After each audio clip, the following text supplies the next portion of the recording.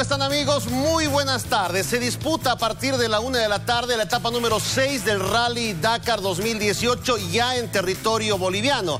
La etapa va a concluir en Calamarca, en el altiplano paseño, hasta donde vamos en vivo con Víctor Andrade.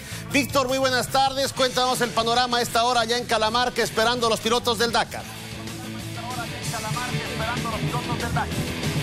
¿Qué tal Ernesto, amigos de Telepaís? Efectivamente nosotros estamos en, la cuarta sección de Calamarca, en la localidad de Civicani, donde van a llegar los competidores del Dakar que han partido ya en esta sexta etapa desde la localidad de Huaki.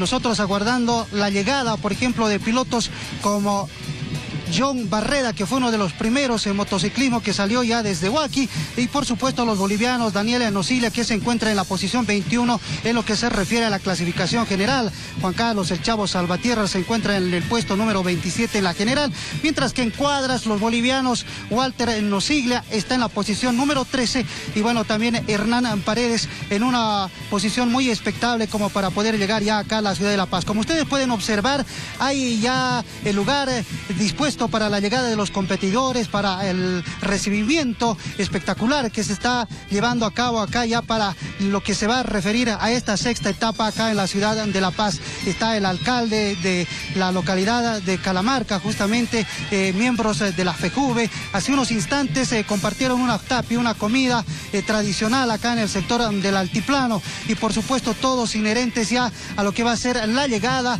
de esta sexta etapa del Dakar 2018. Van poder ustedes apreciar por dónde los pilotos van a pasar raudamente a este sector de enlace para luego posteriormente llegar hasta la sede de gobierno, un lugar donde han arreglado justamente en el estadio Hernando Siles un podio para el recibimiento de nuestros eh, pilotos. Hay dos sectores importantes acá en la localidad de Civicani, por ejemplo, para que se puedan abastecer de, gasolina los pilotos que están compitiendo y por supuesto también hay un sector eh, específico para que se puedan abastecer de agua. La expectativa comienza a crecer, ustedes pueden también apreciar gente que va llegando paulatinamente, tomando en cuenta que falta todavía mucho tiempo para que puedan llegar los primeros habitáculos hasta este sector. Hay gente extranjera, turistas que portan el rojo amarillo amarillo y verde, nuestra tricolor, por supuesto, alentando y viviendo la fiesta de este Dakar. Vuelvo contigo, Ernesto, hasta Estudios Centrales, a la ciudad de Santa Cruz. Víctor, una consulta con las modificaciones de la etapa de hoy que suspendió el primer tramo. ¿Qué tiempo harían las máquinas desde Guaki hasta Cajamarca y a qué hora se calcula que podría estar llegando la prueba a la ciudad de La Paz?